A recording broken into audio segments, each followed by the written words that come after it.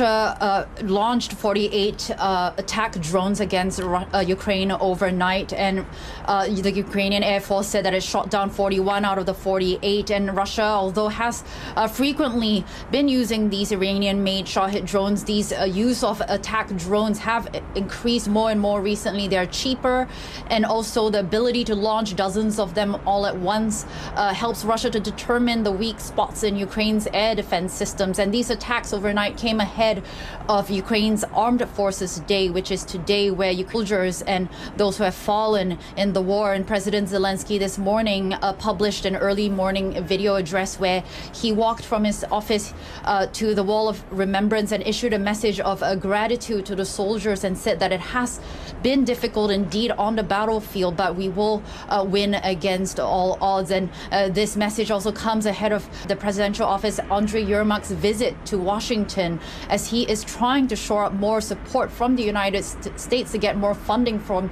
the U.S. Congress as it has struggled uh, to pass more uh, funding for Ukraine in recent months. President Zelensky also attended virtually, uh, and G7 countries uh, basically want to send a strong signal of support for Ukraine that it continues to stand with Ukraine, especially amid uh, concerns that global attention may have shifted away from Ukraine ever since the conflict between Israel and, and Hamas erupted on October. October 7th. Uh, uh G7 countries uh, are trying to limit Russia from earning revenues from its trade in metals and diamonds, especially diamonds. Russia is a, a, the world's biggest exporter of rough diamonds, and also to try to implement more strongly the price cap on Russian oil, which has weakened in, in, in, recent months. And for example, the United States just recently announced that it will impose sanctions uh, on those who violate this price cap. So basically, the discussions focus on how to continue to try to cripple Russia's ability test. And just last week, Putin